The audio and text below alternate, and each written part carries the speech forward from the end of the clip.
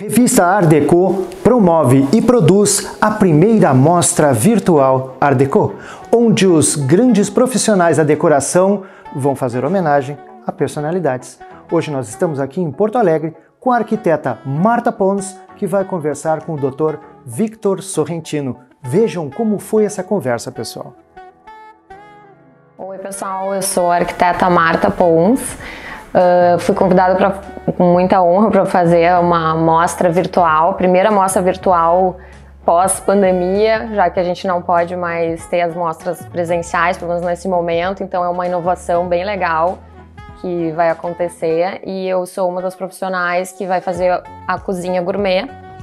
E eu tô aqui com meu homenageado, Vitor Sorrentino, e eu vou conversar um pouquinho com ele, ver o que, que ele.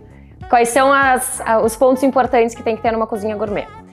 Tudo bom, Vitor? Tudo ótimo, Tudo Marta. bem? Muito obrigado, primeiramente. Um prazer estar aqui com vocês. Imagina, uma Explorar honra. justamente a parte da cozinha que mais, que mais eu uso mesmo, né? Pois é. É. Então, o que, que é importante para ti ter numa cozinha gourmet? O que, que tu gostaria?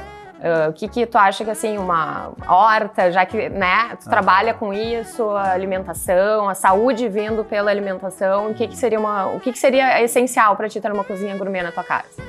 Eu, eu acho que talvez é, é, esse conceito ele deva crescer bastante, né, Marta? As pessoas estão se dando conta da dificuldade que é a gente ter saúde sem a gente prestar um pouquinho, pelo menos, atenção no que a gente come. Uhum. Então a cozinha tem que ser um lugar muito agradável, né? Claro. Ainda mais uma cozinha gourmet, que é, supostamente a gente vai é, utilizar ali os, os donos da casa mesmo, né? Vão Sim. utilizar mais.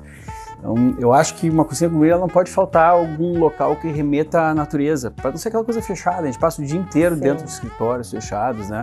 Então, eu gosto de coisas mais verdes dentro. Sim, eu sei que existem possibilidades de fazer essas hortinhas dentro também, acho Sim. bacana isso.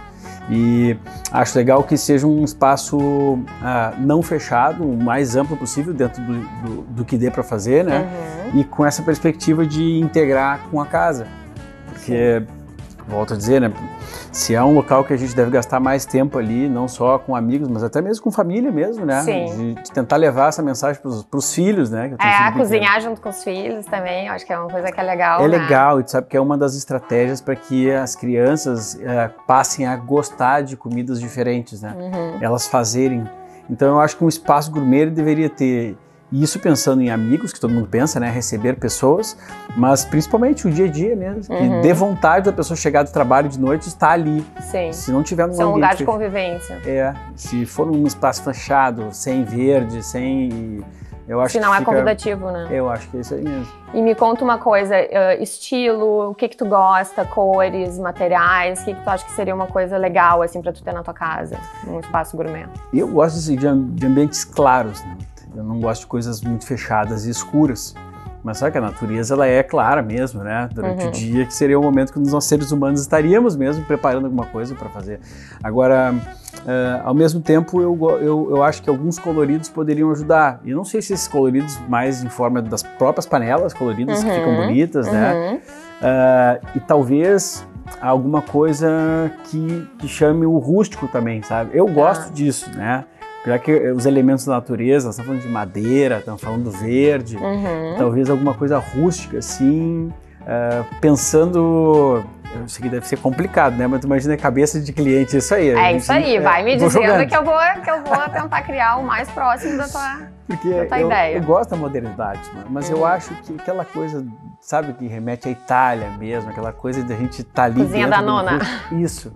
Tá. Ah, nos traz esse, esse, esse carinho, esse conforto, vontade de estar ali e relembrar os momentos que a gente teve em família, que nós, ainda, a nossa geração, ainda teve em família, com os Uhum. avós, né? Sim. Que não sei se essa geração vai ter. Ai, legal, gostei.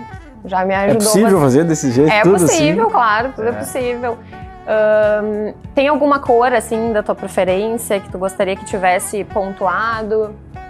Olha, não tem não, mas eu gosto de, de claro, né? Então, se, se for um claro, com um marrom, com um verde, ah, eu sou muito natureza, eu não sou natureba, mas eu sou muito natureza. Eu acho que já fecha bastante com isso. E alguns detalhes em vermelho, talvez, porque eu gosto dessas panelas vermelhas, né, Uhum. antigas e tal. Sim. Então, eu já fechasse, assim. Ah, legal, então tá. Então, vamos encerrando por aqui.